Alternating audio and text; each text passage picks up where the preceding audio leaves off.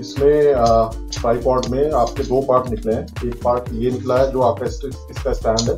और इसको आप देख सकते हैं, ये कई मल्टीपल फोल्ड्स में है। इसको आपको हम लोग एक्सटेंड करके दिखाते हैं कि मल्टीपल फोल्ड में कैसे एक्सटेंड होता है।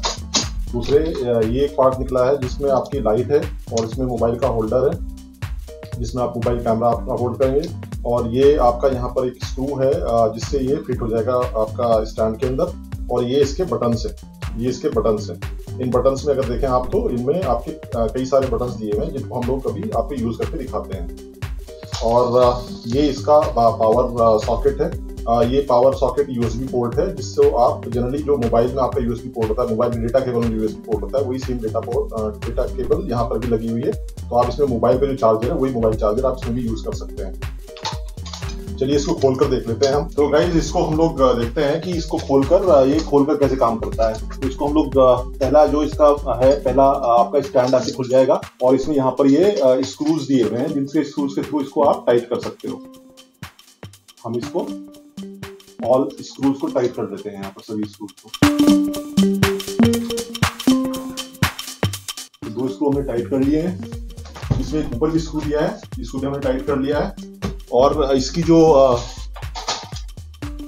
ये इसकी लाइट है, इस लाइट को फिक्स करने के लिए यहाँ पर आपका एक ऐसे स्क्रू दिया हुआ है। इस स्क्रू के थ्रू आप इस लाइट को फिट कर सकते हैं।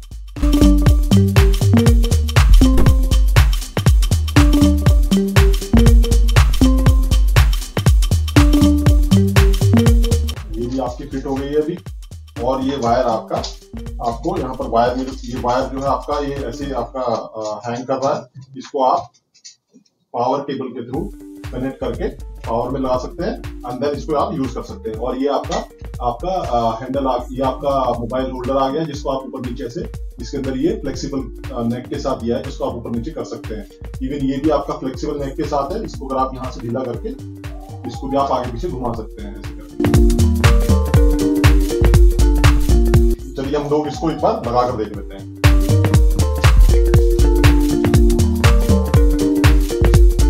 गाइज़ आप ऐसे ही एक जो मोबाइल का रेप्टर होता है मोबाइल का रेप्टर को आप इसकी यूएसबी पोर्ट में ऐसे फिक्स कर सकते हैं। गाइज़ हम लोग इसकी फंक्शनिंग देख लेते हैं। इसको अगर आप इस बटन को प्रेस करते हैं तो आपकी लाइट ऑन हो जाती है। और अगर आप ये प्लस माइनस जो दिए हुए दो बटन यहाँ पर प्लस से अगर आप करेंगे तो लाइट आपकी इंक्रीज होगी। और अगर माइनस करेंगे तो लाइट डिक्रीज होगी। और अगर आपने इसमें तीन डिफरेंट टाइप की लाइट्स दी होती है, तीन डिफरेंट मोड दिए होते हैं, अगर आप ये बीच वाला बटन यूज़ करते हैं तो बीच वाले बटन पे यूज़ करने पर आपको डिफरेंट टाइप की लाइट्स आएगी